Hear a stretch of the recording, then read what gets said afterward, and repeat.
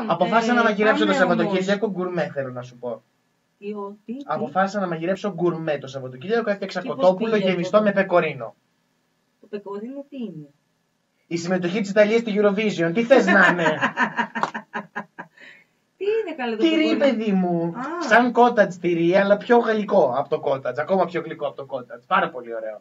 Εντάξει, Με διάφορα δεν το λαχανικά πολύ εκεί. ωραίο. είναι Εγώ να πάρα πολύ ευχαριστήσω ωραίο. τον αγαπημένο μου φίλο, Κύπριο φίλο, ο οποίος μου στείλε χαλούμι.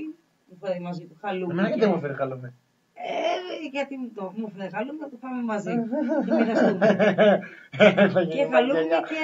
Ε, δολοφονίες που Ξέρεις τα τι λέει η έχουμε Ελένη στην Κύπρο; Παρασκευά στα Ξέρεις τι δελτία. έχουμε